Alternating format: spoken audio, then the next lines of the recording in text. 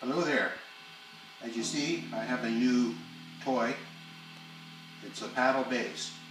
My wife Karen uh, went to a flea market, picked up uh, this canoe paddle. We don't have a canoe. I make a bass. It's been uh, dubbed the Oarcaster by one of her buddies, Robbie. Anyhow, I'll see if I can play a little boogie on it for you. Here we go.